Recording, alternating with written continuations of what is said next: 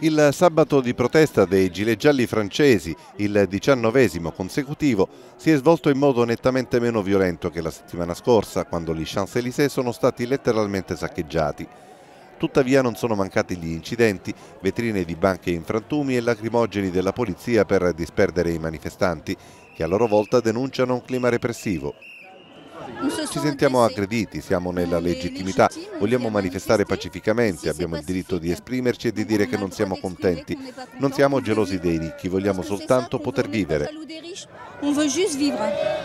Per tutta la settimana il governo aveva mandato messaggi muscolari, annunciando il dispiegamento dell'esercito e battendo sulle nuove regole più restrittive.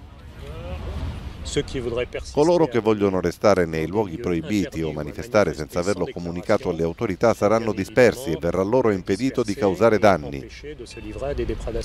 La prima applicazione pratica delle nuove norme è arrivata a Nizza, dove alcune decine di manifestanti avevano sfidato il divieto. La polizia ha intimato loro di lasciare la piazza ed è poi passata alle maniere decise. Lo sgombero è durato pochi minuti appena. Negli scontri una donna è rimasta lievemente ferita cadendo a terra, mentre sei persone sono state fermate.